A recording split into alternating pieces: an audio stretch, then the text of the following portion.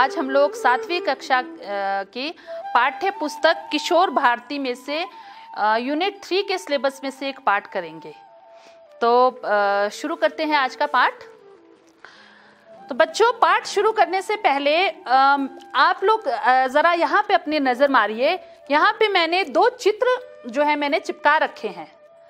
आप लोग इन चित्रों को देखकर इनको पहचानने की कोशिश कीजिए कि आप लोग इन चित्रों को पहचान पा रहे हैं या नहीं। हाँ आशा करती हूँ कि कुछ बच्चों को तो पता चल गया होगा कि ये किसका चित्र है, परंतु कुछ बच्चों को अभी भी नहीं पता चला होगा। तो जिनको पता चल गया है कि ये किनका चित्र है, वेरी गुड, बहुत अच्छी बात है। जिनको नहीं पता चला, कोई बात नहीं, मैं अभी इनके बारे में आपको बताती हूँ, इन्हीं के बारे में हम लोग आज बात करेंगे। क्योंकि आज का हमारा पाठ जो है, इन्हीं के बारे में है, ठीक है? तो बच्चों, जो यहाँ पे चित्र मैंने दो चिपका रखे हैं, ये चित्र है दाता रणपत जी का। दाता रणपत जी। तो दाता रणपत जी के बारे में ही हमारा आज का पाठ है। तो आपकी पाठ्य पुस्तक किशोर भारती के यूनिट थ्री का सिलेबस है दाता रणपत। तो इसी पाठ को आज हम पढ़ेंगे। अब दाता रणपत के बारे में ऐसे ही मैं थोड़ा सार बताती हूँ उसके बाद हम पुस्तक से पढ़ेंगे ठीक है? तो दाता रणपत जी का जन्म जम आ, का जन्म जम्मू से लगभग 20 किलोमीटर दूर बीरपुर नामक गाँव में हुआ था। उनके पिता का नाम लद्दा और उनकी माता जी का नाम आलमा था।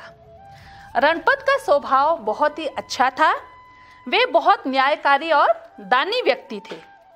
लोग उन्हें लड़ाई झगड़ों का निपटारा करने के लिए बुलाते थे। उनके आसपास, उनके गाँव में, उनके आसपास जब भी कोई लड़ाई झगड़ा होता था, उसके निपटारे के लिए दाता रणपत जी को बुलाया जाता था। दुष्ट और कपटी जागीरदार बांगी चाड़क के विरुद्ध निर्णय देने के कारण धोखे से उनकी हत्या कर दी गई। अब जब हम पाठ पढ़ेंगे, तब हमें पता चलेगा कि उनकी हत्या बागी चाड़क नामक व्यक्ति ने क्यों करवाई थी। आज भी दाता रणपत की समाधि पर लोग श्रद्धांजलि अर्पित करते हैं। तो उनकी आ, उनका उनकी जो समाधि है वहाँ लोग जाते हैं और आ, सम्मान प्रकट करते हैं। ठीक है बच्चों? तो चलिए हम लोग आज का पाठ जो है वो शुरू करते हैं दाता रणपत पाठ शुरू करने से पहले मैं ये बता दूँ कि जो ये पाठ है ये एक संवाद के रूप में लिखा गया है। अब आप पूछोगे कि संवाद क्या होता है? तो बच्चों, संवाद होता है बातचीत करना, ठीक है? जब हम आपस में बातचीत करते हैं, उसको कहते हैं संवाद। तो ये जो पूरा पाठ है, ये पाठ संवाद के रूप में ही लिखा गया है, ठीक है? चलिए, पढ़ते हैं पाठ। रमेश, सर, यह चित्र किसका है, अध्यापक? तुझे नहीं पता? यह तो रणपत का चित्र है। कहाँ से लिया है तूने? रमेश मेरे चचेरे भाई के पास था उसने मुझे दिया। कह रहा था हम इन्हें दाता कहते हैं। अब क्या है ये जो संवाद है ये एक आ, एक क्लास में हो रहा है एक कक्षा में हो रहा है जहाँ पे एक अध्यापक और कुछ विद्यार्थी हैं। उनमें से एक लड़का रमेश एक चित्र लाकर अपने अध्यापक को दिखाता है और पूछता है कि सर ये किसका चित्र है? तो अध्यापक उसको बताते हैं कि ये रणपत जी का चित्र है। अच्छा और फिर वो रमेश कहता है कि मेरे चचेरे भाई ने, चचेरा भाई अर्थात मेरे कज़न ने, इंग्लिश में हम उसको कज़न कहते हैं, चाचा का लड़का, ठीक है? कहते हैं, मेरे कज़न ने दिया है मुझे, और वो बता रहा था कि इनको हम दाता कहते हैं। अब अध्यापक आगे कहते हैं, सभी विद्यार्थियों को कहते हैं कि हाँ बच्चों, आपको नहीं पता, ये बहुत ही न्यायकारी और दानी व्यक्ति थे। इसलिए सभी इन्हें दाता रणपत कहते हैं। उनका नाम तो रणपत था, परंतु वे बहुत दानी थे न्यायकारी थे। अपनी हर चीज़ किसी भी जरूरतमंद को दे देते थे, इसलिए उनका नाम दाता रणपत पड़ गया। सूर्यकांत, सर, हमें इनके विषय में सारी बात बताओ। कहाँ रहते थे? इनके घर में कौन कौन था? अध्यापक तो ठीक है, सुनो, विद्यार्थी, जी सर, अब बच्चों को उत्सुकता हुई। वे जानना चाहते थे कि किसका चित्र है, ये है कौन? तो वो उनसे अपने अध्यापक से प्रश्न पूछने लगे कि हमें बताइए कि रणपत जी कौन थे, उनकी कहानी सुनाइए। अध्यापक, जम्मू से लगभग 20 किलोमीटर की दूरी पर बीरपुर नाम नाम का गाँव है। दाता रणपत का जन्म वहाँ हुआ था। रणपत के पिता का नाम लद्दा तथा माता का नाम आलमा था, ठीक है? तो यहाँ पे अब उनका परिचय दिया जा रहा है। किसका? रणपत जी का। अध्यापक रणपत का परिचय दे रहे हैं कि उनका जन्म जम्मू से 20 किलोमीटर आगे बीरपुर नामक गाँव में हुआ था। उनके पिताजी का नाम लद्दा तथा उनकी माता जी का नाम आलमा था। रणपत का स्वभाव अत्यंत ही नेक तथा शांति प्रिय था। बहुत ही अच्छे स्वभाव के थे।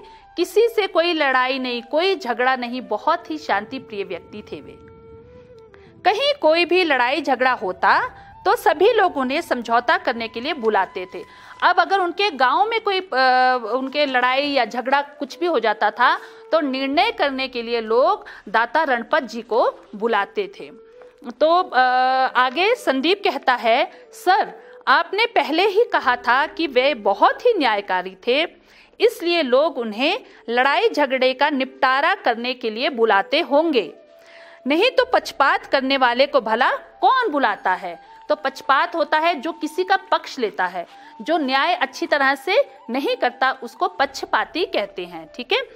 तो एक बच्चा संदीप है वो कहता है कि सर आप अभी आ, अभी तो आपने बताया कि वो बहुत न्यायकारी थे हमेशा न्याय करते थे इसलिए लोग उन्हीं को झगड़े का निपटारा करने के लिए बुलाते होंगे। क्योंकि अगर कोई किसी का पक्ष लेता है तो उस व्यक्ति को तो कोई बुलाता ही बुलाएगा भी क्यों? अध्यापक बच्चों बहुत समझदार हो आपने बिल्कुल ठीक समझा है। प्रतिभा उनका विवाह हुआ था? अब बच्चों को और उत्सुकता हो रही है उनके बारे में जानने के लिए तो वे पूछते हैं कि उनका विवाह हुआ था कि नहीं।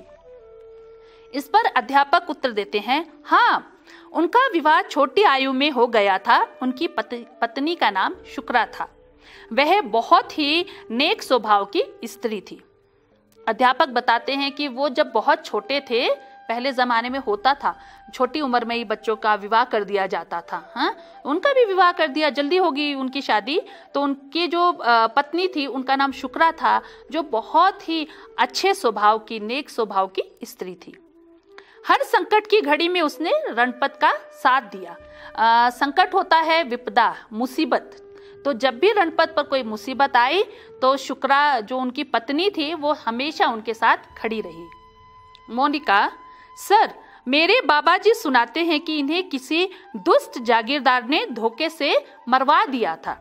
अब बच्चे हैं, अपने घर से सुनकर आते हैं तो एक बच्ची कहती है, मोनिका जिसका नाम है, वो कहती है कि मैंने सुना है, दाता रणपत जी को एक जागीरदार, दुष्ट, बहुत बुरे व्यक्ति बुरे जागीरदार ने धोखे से मरवाया था। अध्यापक हाँ बात बिल्कुल ठीक है, पर इसके पीछे भी एक कहानी है। विद्यार्थी, सर, हमें सारी कहा, बात सुनाओ कि ऐसा क्यों हुआ था? कि उनको मारा क्यों गया था?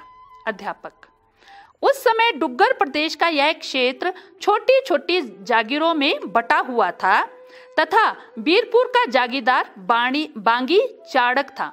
तो अध्यापक उनको बताते हैं, डुग्गर प्रदेश, जो जम्मू के साइड की जो जगह है वहाँ हम उसको डुग्गर कहते हैं, है ना? उसको डुग्गर प्रदेश कहते हैं। तो पहले डुग्गर प्रदेश पर जागीरदारों का जो था उनका राज चलता था। तो इसी तरह बीरपुर का जो जागीरदार था, वो था बांगी चाड़क। वह बहुत ही दुष्ट, बहुत ही कपटी तथा दूसरों के अधिकार हथियाने वाला था। बड़ा ही दुष्ट व्यक्ति, बड़ा ही बुरा व्यक्ति था। किसी के पास कोई चीज़ रहने ही नहीं देता था, हर चीज़ वो छीन लेता था।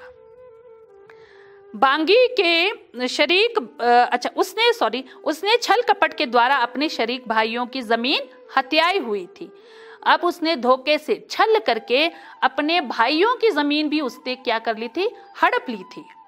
बांगी के शरीक भाइयों के घर अत्यंत गरीबी थी। भाइयों के पास कुछ था नहीं, सब कुछ बागी ने छीन लिया था तो उसके भाई बहुत ही दीन अवस्था में, गरीबी के अवस्था में जी रहे थे। दूसरी ओर दाता रणपत बीरपुर के सरपंच थे। वे बांगी के शरीक भाइयों ने उनसे प्रार्थना की कि वे उनके झगड़े का निपटारा करवाएँ। अब रणपत जी जो थे, वो बीरपुर के सरपंच थे। तो उनको निर्णय के लिए लोग बुलाते हैं, उनके भाई बुलाते हैं, बांगी के कि आके हमारा निपटारा कीजिए। प्रभात, एक बच्चा है, वो पूछता है, सर, दाता रणपत जी मान गए? क्या वो फैसला अपना निर्णय देने के लिए वे राज़ी हो गए? तो अध्यापक कहते हैं, वे इस अन्याय को सहन नहीं कर सके, इसलिए मान गए। परंतु, और फिर वे रुक जाते हैं। तो वो कहते हैं कि हाँ वो मान गए, परंतु जब वे कहते हैं तो बच्चे एकदम हैरान हो जाते हैं कि क्या हुआ? तो बच्चा, एक बच्चा पूछता है, सुषेण कहता है, परंतु क्या किसी ने रोक दिया? तो कहते किसी ने उनको निर्णय नहीं लेने दिया। तो अध्यापक बताते हैं, क्योंकि बांगी बहुत ही घमंडी, दुष्ट तथा कपटी था, वह अपनी जीत की खातिर कुछ भी कर सकता था। ऐसा व्यक्ति था जो जीतने के लिए, अपने स्वार्थ के लिए कोई भी किसी भी हद तक वह जा सकता था। इसलिए माता आलमा ने समझाया कि तू बांगी के इस झगड़े में मत फंस।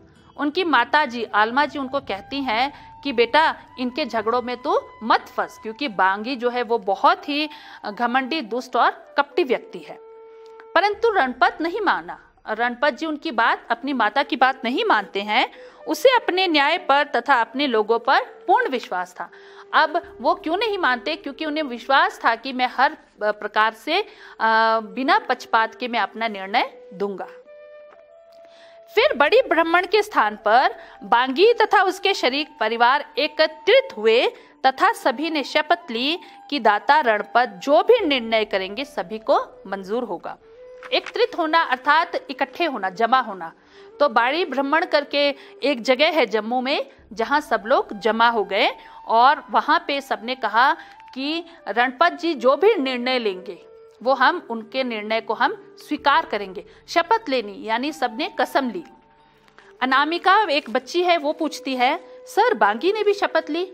वो कहती है कि, बांगी तो बहुत ही दुष्ट व्यक्ति था, घमंडी था तो क्या उसने भी शपथ ली? अध्यापक कहते हैं, दरअसल बांगी को अपनी जागीरदारी तथा ताकत का घमंड था।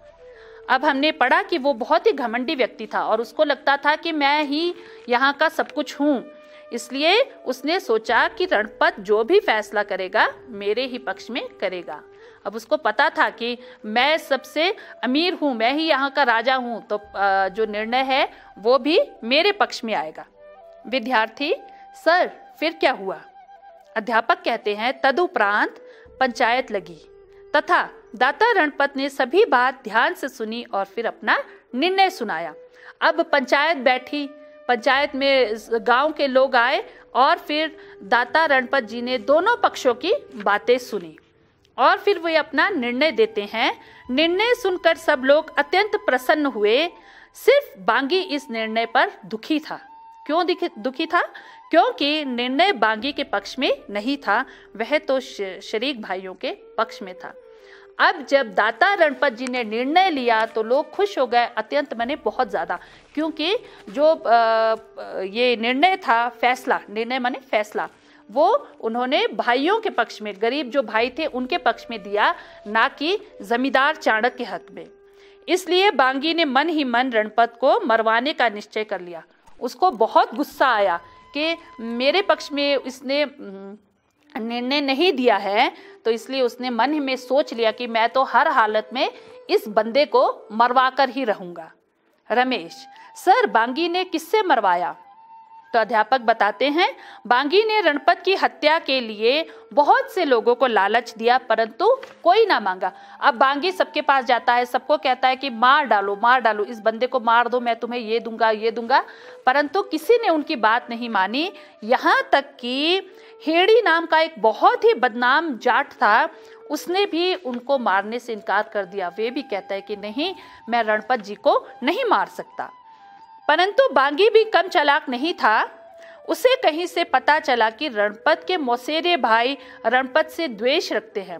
मोसेरे मने उस, आ, का अर्थ होता है उसके मौसा के ठीक है? उसके मौस, मौसी के जो लड़के हैं मोसेरे भाई उनको मोसेरे भाई कजन्स कहते हैं वो उनसे द्वेष रखते थे यानी जलते थे ईर्ष्या रखते थे। अब पता नहीं कैसे पता चला बांगी को इस बात का पता चल गया। और उससे उनकी शत्रुता है बस फिर क्या था? उसने जैसे तैसे करके उन भाइयों को मना लिया। उसने उनको बुलाया तथा उन्हें भड़का उकसाकर रणपत की हत्या के लिए तैयार कर लिया। उससे कहा कि आप आ, मिलकर उसकी हत्या कर दो। उन्होंने भी रणपत को किसी षड्यंत्र में उलझा कर धोखे से मरवा दिया। अब उनके जो मुसरे भाई थे उनको जो कज़न थे उन्होंने उनको क्या किया? धोखे में रख के, उलझा के, षड्यंत्र में फंसा के उनको मार डाला। मोनिका, सर मेरे बाबा जी कहते हैं, बांगी को इस हत्या का भयंकर परिणाम भुगतना पड़ा। उसे कोड़ की बीमारी हो गई, शरीर के सभी अंग गल गए, जहाँ तक कि उसके घर के लोग भी उसे छोड़ गए। तो एक बच्ची है मोनिका वो बताती है कि वो उसको भी थोड़ी थोड़ी बहुत इस कहानी के बारे में उसको पहले पता था तो वो कहती है, जो बांगी चाड़क था, उसको क्या हुआ? उसको कोड़ हो गया। कोड़ क्या होता है? ये एक प्रकार का रोग होता है, बीमारी होती है, जिसमें शरीर के अंग जो हैं वो गल जाते हैं। ठीक है? तो धीरे धीरे गलने लगते हैं, बहुत पीड़ा होती है, बहुत दर्द होता है। और पहले की बात है, जब दवाई वगैरह नहीं होती थी तो घर के लोगों ने भी उसको अपने घर से बाहर निकाल दिया, उसका साथ किसी ने नहीं दिया।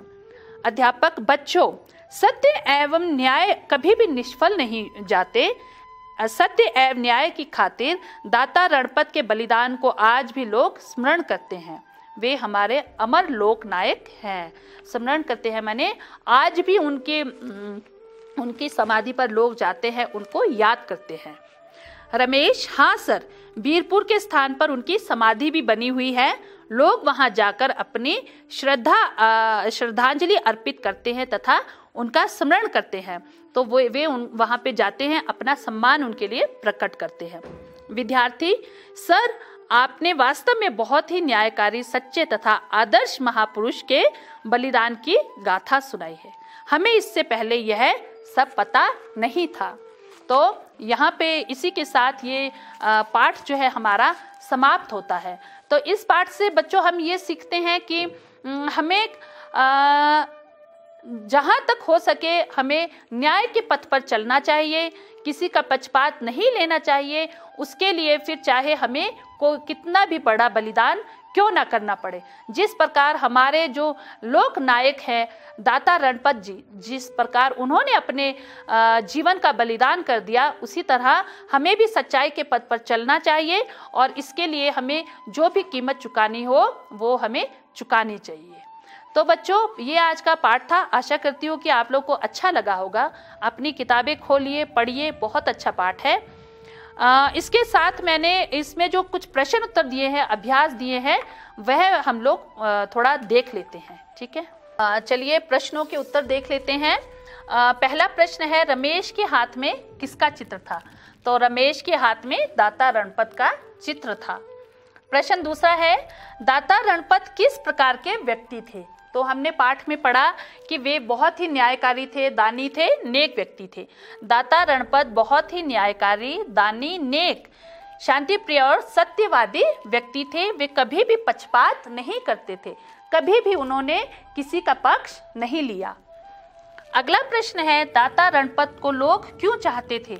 वे लोगों में बहुत प्रिय थे, सबको प्रिय थे तो वो लोग उनको इतना पसंद क्यों करते थे? दाता रणपत को उनकी न्यायप्रियता, सत्यवादिता, नेकी, दानी और निष्पक्षता के कारण लोग उन्हें चाहते थे।